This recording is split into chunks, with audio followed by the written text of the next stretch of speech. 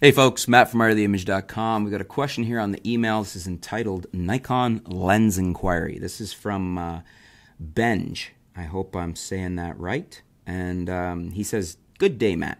I've just started photography with a Nikon D5300. For my lenses, I now have the standard 18 to 55 kit lens, the Nikkor 50mm f1.8G, and the Nikkor 55 to 200 f4.5 to 5.6 um, or no, sorry, f4 to 5.6 VR2.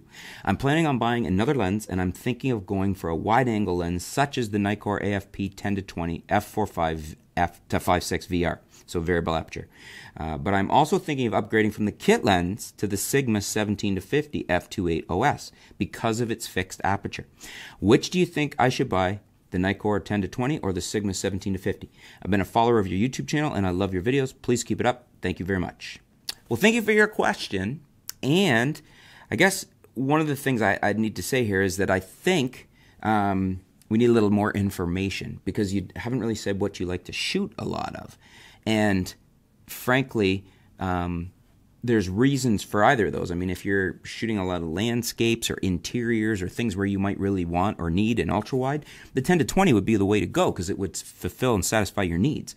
Uh, if you're mostly shooting events, and portrait work and like weddings and things like that, then the 17 to 50 would be a better option because you don't need an ultra wide and you'd benefit from the constant aperture f2.8 OS, optical stabilization, their version of VR. So, and I love that lens, by the way, the Sigma 1750. For those of you that are regular viewers of the channel, you know that's one of my favorite all-time lenses for a crop sensor body, um, such as uh, you know a Nikon 5300 like you have, or a um, in the Canon side, you can put it on any of the crop sensors, an 80D, 70D, 77D, T7i, you name it. Uh, even on the SL2, it should work just fine. So, uh, really depends what your needs or your shooting requirements are. If you know you've already got a 50 f1.8G, which is a great portrait lens, so if you just shoot the odd portrait and you're doing a lot of landscape or interiors or something, then probably the 10 to 20 from Nikon is the way to go.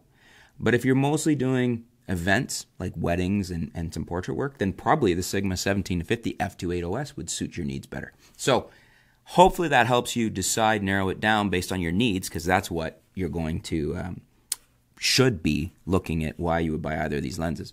And frankly, I mean, if you if the budget bears, you could add both of them, maybe stagger the purchases. Uh, but I'm gonna throw it back to you guys. What do you guys think?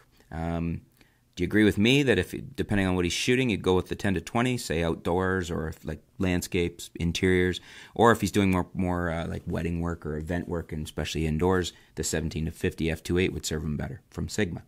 Let me know what you guys think. Is there another option? Let us know in the comments below. Let's discuss it. Let's help out Benj. Thanks for your question, Benj. Looking forward to hearing what you guys have to say. Stay tuned. We'll be back soon here at artoftheimage.com.